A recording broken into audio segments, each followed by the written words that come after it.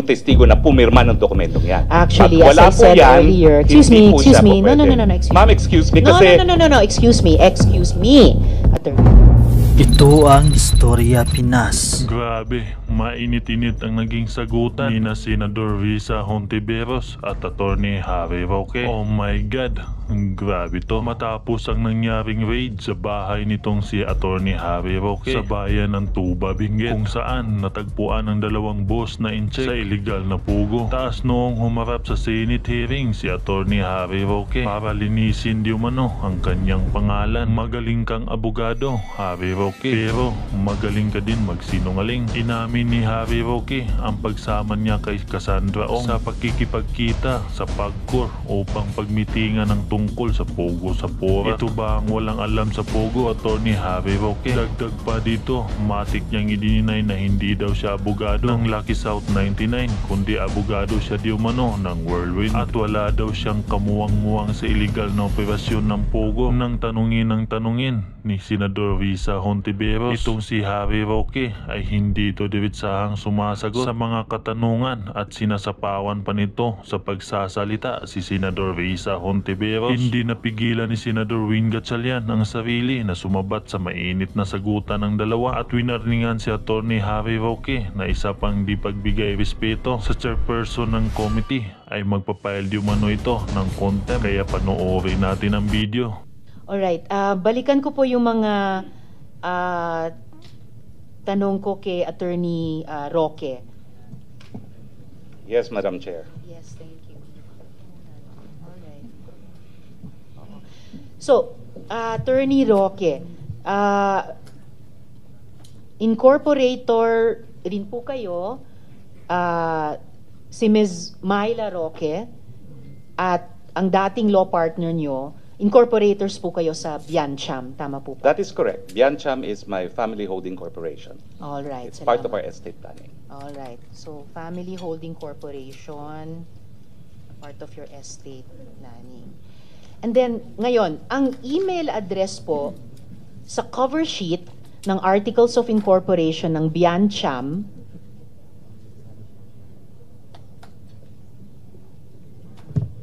Alright, so verbally i-redact ko na lang, hindi ko na lang babanggitin yung email address. Ah, so, may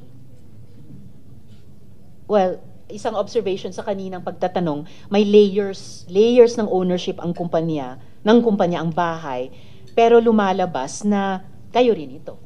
Well, I've never denied that, and that's why I said that I have an interest in that house. But it has to be emphasized na for purposes of search warrants, they have to specify the registered owner ng bahay. Kaya nga po, unang-una, dinideny ko po na na-raid yung bahay ko, ho, dahil wala pong search warrant doon sa nangyari. Ang meron lang po, mission order at pag-aresto ng Bureau of Immigration sa dalawang Chinese nationals. So mission order po ang nag-cover ng raid. Hindi po raid. Ah, sorry. Ang ah, apprehension po. Kasi ang raid apprehension. po, wala pong search warrant at may abogado naman po yung mga foreigners na nakatira ron, hindi po sila pinapasok because under the Constitution and the Bill of Rights apply also to foreigners, hindi po sila po pwedeng pumasok na walang search warrant. Uh, briefly, Attorney Roque, I'll leave you to just uh, ask a related question sa sa sa BI. Uh, mission order lamang daw ang dala at walang warrant. Can you educate a, a non uh, law enforcer like me? Uh, Yes, Madam Chair. Uh, We confirm na during the arrest, uh, the BI used the mission order. Wala pong, wala pong search warrant. Walang warrant of arrest. All right. So apprehended yung dalawang tao at nasa custody ngayon ng PAOK. Yes, yes, Madam Chair. All right, salamat po. Uh, back to Attorney Roque. Can I Yes, Madam confirm, opo, can I confirm lang po na uh, your wife, Ms. Myla Roque, is the managing director of Biancham since 2015 ayon sa annual report ng Pag-ibig. Well, uh, she was uh, with Pag-ibig and she was uh, managing uh, director of uh, Biancham, but she resigned. She When resigned. po? I cannot remember exactly when, but um, as I said, we filed an application uh, to be part of the AFAB property and we appended a um, feasibility study. Meron pong malicious report sa media making it appear na yun ang kinikita na namin. E yan po ay feasibility study. The requirement po yan ng AFAB kung kayo po ay mag-apply para maging kabahagi ng teritoryo ng AFAB. So dahil po doon, ayaw ng misis ko yung ganyang mga kontrobersiya, eh sabi po niya, I want out. At kaya nga po, ang nangyari po dyan, eh talagang nag-withdraw din kami dun sa project na yan because my wife said, I really want out. I want my privacy. No? At yan po ang dahilan kung bakit nagkaroon po ng uh, change of ownership. At yan din po ang dahilan kung bakit uh, recently, uh, we are now taking moves to reclaim uh, Biancham. No? Except that my wife really says, I want out. And that's also why uh, we are contemplating even a separation of property para malinaw na hindi siya may involve sa aking mga business undertakings. Um, the decision was uh, made also because we had business reversals in a solar project kung saan doon ko po iniinganyo yung Winfo, yung tong, uh, Whirlwind com- company no and uh, we lost um, a substantial amount of money in that business transaction. All right. Hanggang kailan managing partner yung asawa nyo sa Biancham? Ah, sandali Kahit lang po yan eh. Because um, yung investment po namin dyan sa First Bataan actually, and that was the controversy, was before I became congressman. And uh, the controversy um, came out when I was a uh, newly elected congressman, and that's when she wanted, that's when she verbalized that she wanted out dahil ayaw niya Anong taon po yun, nung naging rep Siguro kayo? 2016, 2016 po ako naging rep dahil So nanalo she- po ako nung uh, uh, 2016 elections. So she would have been managing partner for at least one year, from One year lang 2015 po yan, hindi po 2016. nagtagal siya because she really wanted out. In fact, she wanted out of all my business transactions because gusto po niya maging pribadong individual. All right. Uh, but gaya ng ipinakita kong uh, articles of incorporation, list of incorporators kanina kay Mr. De La Serna, uh, may incorporators na, na- nakalagay doon, isa rin po si Ms. Myla Roque. Yes, oh, that's All what the document says po. Hindi po yan dinideny. So just to summarize, yung house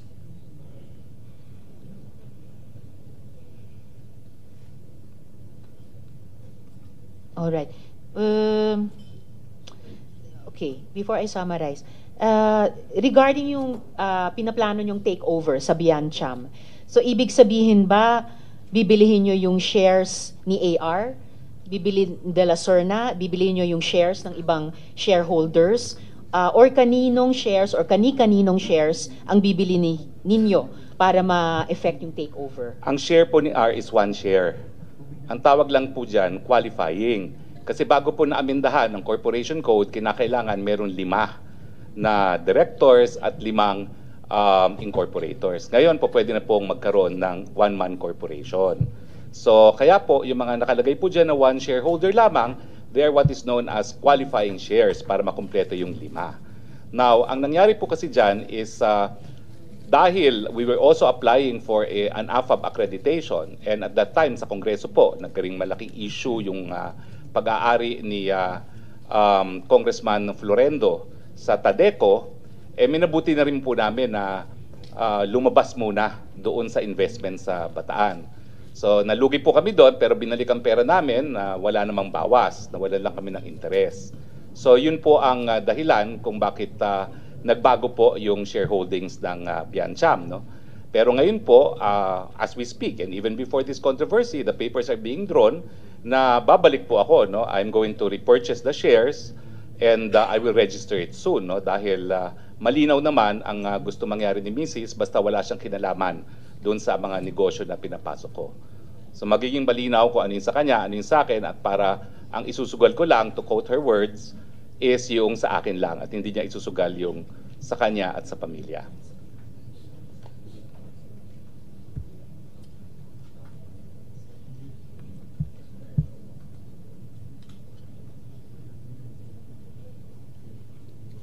So, ah, ibig sabihin po, i-buy out nyo sina Mr. De La Serna at yung iba pang ah, shareholders para maging one-person corporation na yung Biancham sa inyo na po.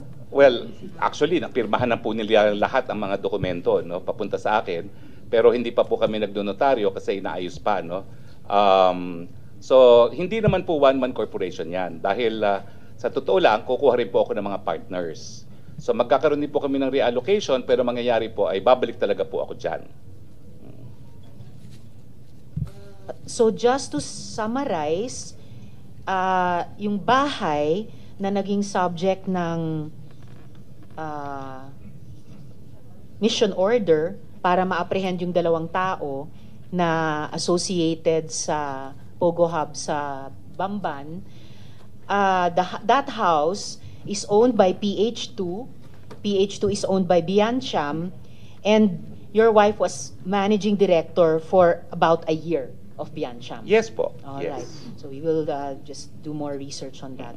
And um, because it is owned by PH2, Madam Chair, uh, corporation under the laws approved by uh, Congress have separate personalities from the individuals constituting the corporation. Sige po. So those are my questions. uh, no, no, no, sorry. So just to continue, uh, Attorney Roque. Uh, so even after the testimonies of Chair Tenko and Attorney Fernandez, uh, minimaintain nyo pa rin po ba na hindi kayo lawyer ng Lucky South 99 o kahit anong POGO for that matter? I confirm that 100%. And the reason po is, dala-dala ko po ngayon ng mga dokumento. Alam niyo po, ang attorney-client relations, kinakailangan po yan magkasundo ang partido. Because it is the highest fiduciary relationship. Kaya nga po yung tinatawag na attorney-client privilege, biski dito po sa Kongreso, hindi nyo mapapakontep kapag na-invoke yan attorney-client privilege. At sa totoo lang Within po, certain uh, limitations, of course. at sa totoo lang po, sana kinuha po ako ng Lucky Star na abogado. Bakit po? Dahil yung raid sa, sa PORAC, unconstitutional po yan. Nag-raid po sila, kumuha sila ng uh, warrant of arrest galing sa Bulacan judge outside of jurisdiction.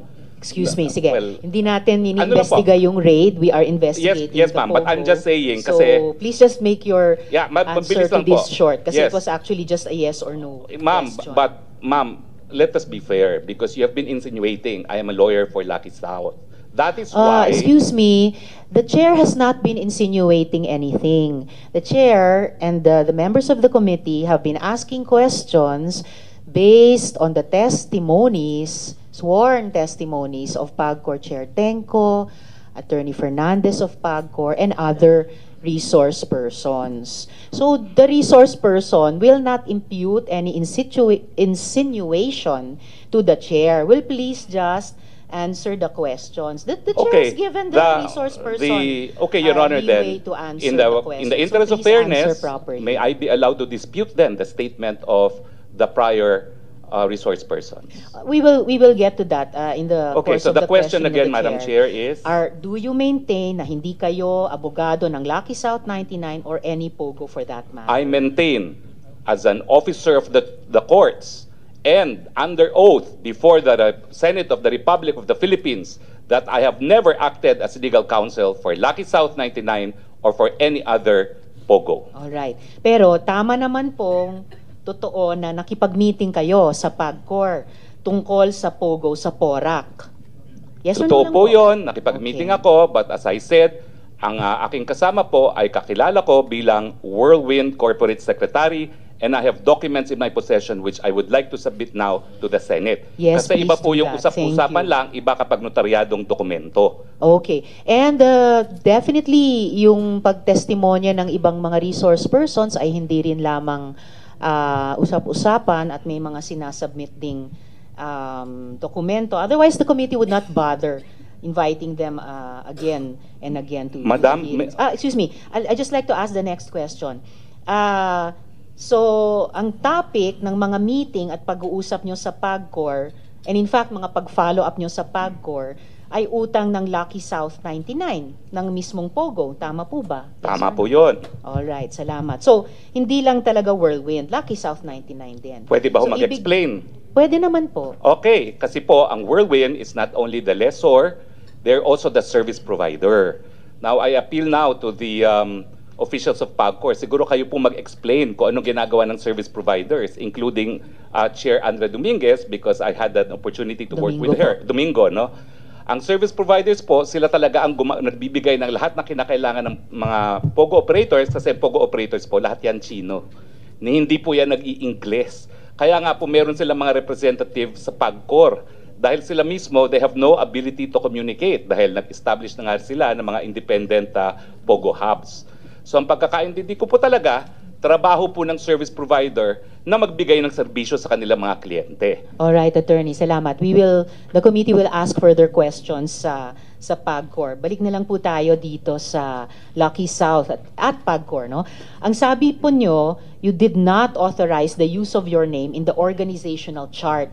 That was submitted as an official attachment by Lucky South 99 to PAGCOR. Totoo So, kasalanan po yan ni Cassie Linong, tama ba? Hindi po, kasalanan Hindi. po yan ng kung sinong gumawa. Eh, sino Dahil wala gumawa? naman pong establishment. Gumawa po niyan, Lucky South. Yes. Dahil sila po nag-a-apply. Na si Cassie Linong ang isang ano doon. Wala po pa boss tayong ebidensya na nagpapakita Mm-hmm. kung sino nag-submit talaga ng mga dokumento but PAGCOR can confirm kung sino talaga nag-submit ng mga dokumentong yan. Okay, we will Pero, ask PAGCOR that again later. We asked them before. Basta ang malinaw po sa komite ay yung organizational chart na yan na may drawing, may box, na legal, na nandun yung pangalan nyo, was one of the official attachments sa submissions ng Lucky South 99 sa PAGCOR.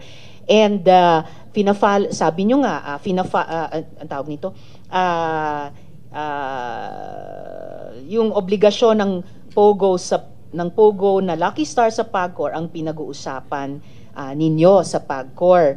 So, due diligence, ah, bilang abogado, dun sa mga diskusyong iyon, alam nyo kung ano yung mga dokumentong sinumite, alam nyo yung mga official um, attachments na nakalagay doon. Did you confront Cassie Linong about this? Or kinasuhan nyo ba siya na kung bakit nandun yung ah, pangalan nyo sa organizational chart? Madam, nagagalit po kayo dahil sinasabi nyo, um, binibigay ko ng mga salita ang inyong bibig. Pero right now, Hindi you naman already ako assume... nagagalit. Sinasabi ko lang wag niyong gawin Oo, yun. pero ngayon po, sinabi nyo, you again insinuated that I had anything to do with the document. Ayan nga po ang sinasabi ko. Uh, as Ah, far at- as I know at- po, Attorney, attorney, please stop using that offensive verb insinuating. I am a very plain speaker. Okay, I'm Pwede sorry. Nyo lang, oh, it's all right. Pwede Okay. nyo lang sabihin mali yung fact na Mali po. sinasite, tinatanggi Oo. nyo yung sinabi ng ibang ah, resource person. Apat na taon na pong itong investigasyon. Halos wala na pong nag insinuate kasi dire-diretso na pong mag-usap. Okay, so please ah, tell ah, tell the committee ki- kinonfront nyo ba si Cassie Linong or kinasuhan nyo ba siya bakit nandyan yung pangalan nyo sa organization? well, unang-una po, nalaman ko lang na nandun ang aking pangalan nung nag-hearing po last time dito na sinabi ni Chairman Altenco. Pero bilang abogado and uh, naging professor ng constitutional law, I'm familiar with the rules of the Senate. And the Senate says that in proving facts, the rules of court apply in the suppletory character. I don't need to argue with you about Opo, that, attorney. But you don't need to, excuse me, po- excuse me, sandali po. You don't need to tell the committee what the rules of the Senate Well, are. I'm just Please citing just po. answer our question. My answer cite, po is necessary. that document is only evidence of its existence. Pero para patunayan po yung katotohanan na nakalasaad sa dokumentong yan, dapat meron pong testigo na nakakita ng ginawa yung dokumentong yan, o di naman kaya testigo ng gumawa ng, ta- ng dokumentong yan, o di naman kaya yung testigo na pumirma ng dokumentong yan. Actually, Pag as wala I po said yan, earlier, excuse me, excuse me, no, no, no, no, no, excuse Ma'am, excuse me kasi... No, no, no, no, no, excuse me, excuse me, Attorney Roque. I'm sorry, madam, but I am Yes, a resource right. person invited. Yes, you are. I Wait, was wait, wait. asked Let me to finish. answer. Yes, you Hindi already answered in um, excess. kapag gusto niyo akong po. tumigil pa, patigil niyo ako kapag ako nag-explain. Mm, yes. I thought we were engaged in the Attorney. search for the truth. Oh, definitely we are. Attorney Roque, what I am saying, yes, and Sherwin. Uh, Attorney Roque, please be reminded to respect the chairperson. I'm very respectful, Madam Chair. Paano respectful na nagsasalita siya, sinasabayan mo siya? I apologize, uh, Senator Gatchalian. One more, I and apologize. I will, I will cite you in contempt.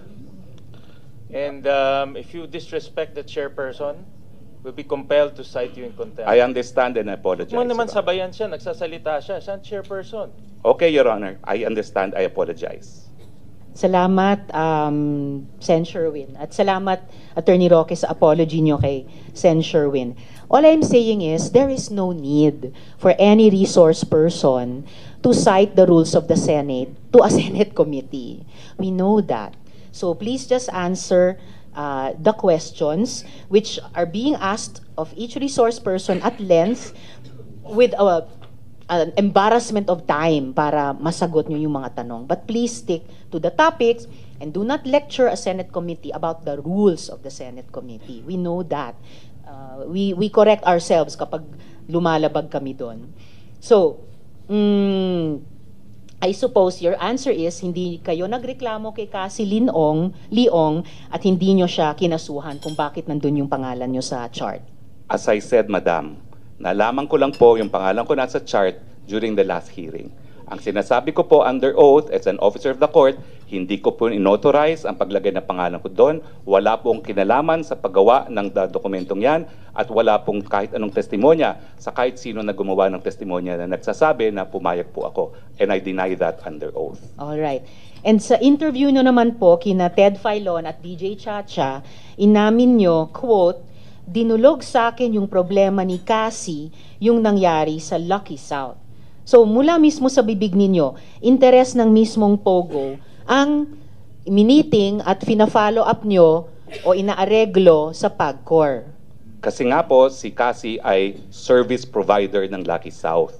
So gaya po ng sinagot din ni Dennis Cunanan, pag may problema ang Lucky South, tumatawag sila doon sa mga tao na tutulungan sila dahil hindi nga po nag english yung mga yan. Okay. So but whether service provider o ano pa man, ah, dinulog nyo yung problema ni Miss Cassie Leong at ng Lucky South na isang pogo, idinulog nyo sa PAGCOR. Dinulog ko po Alright. dahil ah, pinakiusapan po ako nung service provider. Dahil wala po akong kahit sinong kakilala sa Lucky South. Well, kilala, kilala nyo si Cassie Leong. Siya, Lucky South po siya. ay hindi ko po siya kakilala as Lucky South dahil ito po mga dokumento nagpapakita na siya ay pumirma sa ang mga pleadings na ginawa ko nung ako po'y renetain mga two weeks after that meeting para sa kasong ejectment. Kaya nga po paulit-ulit ako, hindi po nagtagal. Matapos yung meeting na yon, eh dinulog po sa akin itong mga kaso. At tatlong kaso po yan, at lahat po ito ngayon, isasubmit ko sa, isusumite ko sa ating ah, komite Salamat. na nagpapatunay po na ang aking kliyente sa mga kasong ito ay will win at ang pumirma po ay si Cassie Ong bilang corporate secretary. Madam, I'm now turning over these uh, documents and this consists of number one, ad cautela motion to quash or recall writ of execution filed before branch 114 of the Regional Trial Court of Angeles City, omnibus motion for its manifestation, entry of appearance, and um, uh, second manifestation, remand of the case to MTC, filed before the Municipal Trial Court of Porac, Pampanga, both of which confirm, both, both of which um, contain uh, the filing with our consent by one Catherine Cassandra L. Ong, Corporate Secretary, Whirlwind Corporation. And of course, the third one is a petition for annulment of judgment with application for temporary restraining order and writ of preliminary injunction, docketed as CA GR number 18013, um, filed with the Court of Appeals, also bearing verification and consent signed by um, Cassandra L. Ong as Corporate Secretary of Whirlwind Corporation.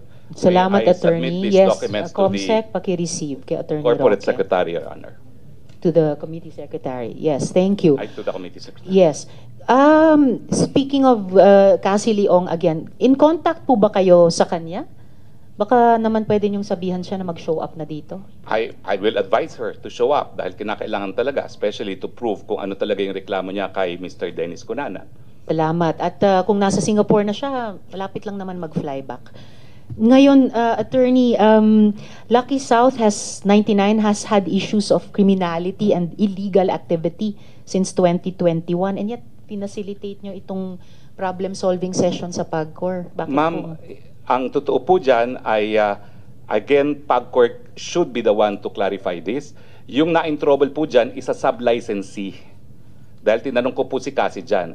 Yung panahon po na meron pang sub-licensee at mother's title po, uh, mother license ang uh, Lucky South, ang na-in trouble po dyan ay hindi po doon sa Porac. Doon po siya sa Friendship Highway. So it is a Saan sub-licensee.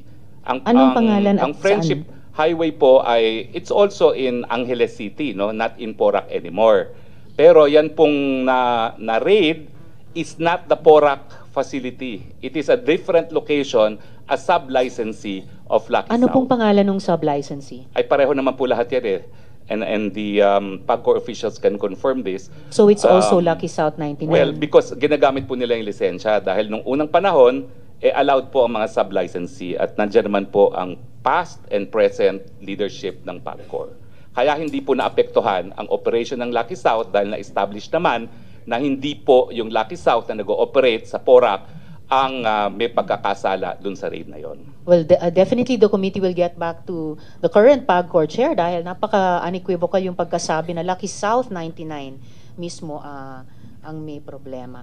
Okay, so attorney, um, so ayaw namang ayaw nyo mang amining abogado kayo ng Pogo, malinaw na abogado naman kayo ng taga-areglo ng Pogo. Pwede bukod pa dyan, excuse me, attorney, sandali po. Bukod pa dyan, ang pag-areglong ginawa nyo sa PAGCOR, nangyari noong 2023. Pero gaya ng nabanggit ko kanina, noong 2022 pa lang, ni-raid na ang Lucky South 99 dahil sa human trafficking. At hindi po isang sub-licensee ng, um, ng Lucky South sa Friendship Highway o kahit saan pa man, but yung Lucky South dun sa ah, Porac. Ah, ito po ang tanong ko. Sa kabila ng lahat ng yan, at kahit alam yung trabaho ng Whirlwind, no? Whirlwind, na protektahan ang interes ng Pogong may track record ng kriminalidad, pumayag pa rin kayong maging abogado nila. Tama po ba? Tama po yun kasi wala naman akong nalaman na merong raid noong 2021. Kasi na-meet ko na lang po sila tapos na ang eleksyon. Na-meet ko na sila nung bumalik na ako sa aking private practice 2022 at hindi ko naman sinusubaybayan kung sino talaga yung mga na-raid ng 2021. At ang pagkakaalam ko po, sila ay whirlwind kasi nga po two weeks after our meeting, lahat ng dokumento na pinirmahan nila kung saan nila ako rinitain as lawyer ay sa ngalan po ng whirlwind. Again, fully documented po yan. So pero i- i- ang nasa likod ng isip ko kasi yung pagpulong nyo ni Cassie Leong ng Lucky South 99 sa PAGCOR. So, ah uh, inaamin nyo po ba na ang pag-areglo nyo sa PAGCOR ay para sa Lucky South 99 at hindi para sa Whirlwind lamang? Hindi po. Ang aking tinulungan po ay Whirlwind. Kasi noong panahon po yan, hindi ko nga po kakilalang Whirlwind bilang isang kliyente. Kakilala ko po sila dahil iniinganyo ko sila mag-invest sa mga energy projects. So yung pagsama ko po sa kanila, well, if we go by the Supreme Court definition of attorney-client, yes, mayroon pong attorney-client relation, pero it was more of an, an accommodation. Wala po kami engagement, hindi po ako bayad doon. Nagkaroon lang kami ng engagement two weeks after dahil nga po dito sa ejectment case na nangyari. So kumbaga, that was part and parcel of my effort to entice them to invest into projects that I'm pushing for renewable energy dyan sa Cebu.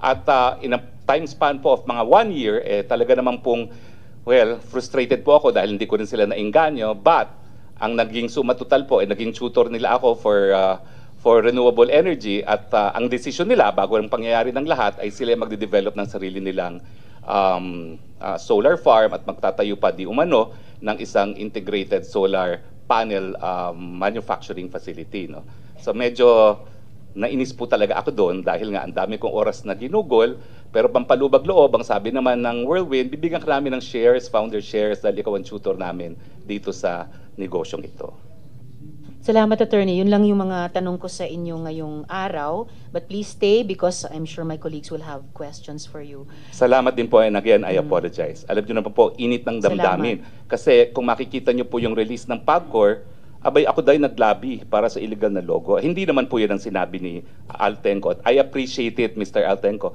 Pero dapat naman po, call your attention of your PR department na nag-issue ng press release. Kasi yung hindi niya po pinangalanan kung sino yon parang showbiz, talaga pong sinabi nila na mayroong ex-cabinet member na nag-intercede para sa lisensya sa isang illegal pogo. Eh hindi naman po talaga yung pangyari. And I appreciate that you said the truth before this committee. All right, salamat attorney. Yung mga uh, side discussions on the side na lamang po.